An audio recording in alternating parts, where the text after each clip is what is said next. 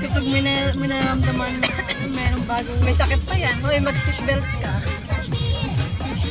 Alam mo naman po kapag may bagong chismis ay talagang gabi.